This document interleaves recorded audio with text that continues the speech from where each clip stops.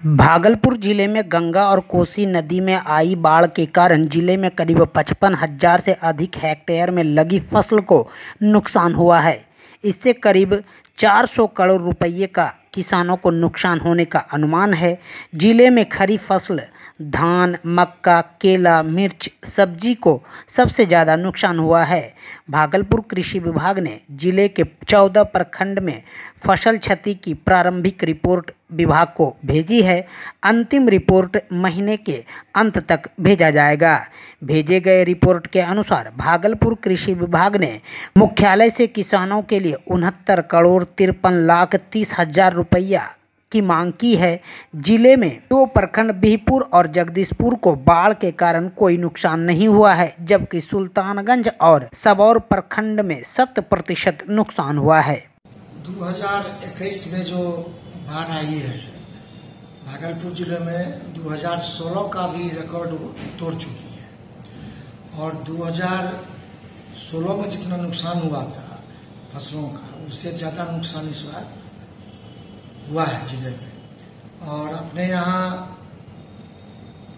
मुख्यतः धान, मक्का, केला, पपीता, मिर्च, सब्ज़ी, इन्हीं फ़सलों में नुकसान ज़्यादा हुआ है।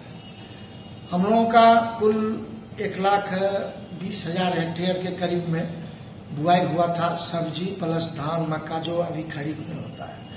उसमें से पचपन हज़ार हेक्टेयर में बाढ़ का पानी घुसा था।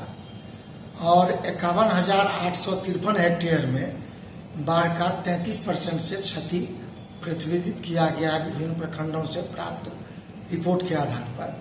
और उसमें से जो हम लोग आपदा का नॉर्म्स के मुताबिक जो नॉर्म्स है कि अड़सठ सौ रुपया प्रति हेक्टेयर असिंचित खेतों के लिए, तेरह हज़ार पाँच सौ रुपया सिंचित खेतों के लिए और अठारह हज़ार रुपया शाश्वत फ़सल के लिए।